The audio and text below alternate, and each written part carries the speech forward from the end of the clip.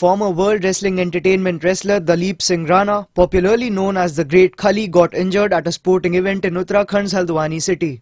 Khali suffered head injuries when he was punched and smashed with chairs by his opponents. The 43-year-old was admitted to a local hospital in Haldwani. A large number of people turned out to witness the bout. Correspondent Vipul Goyal from Uttarakhand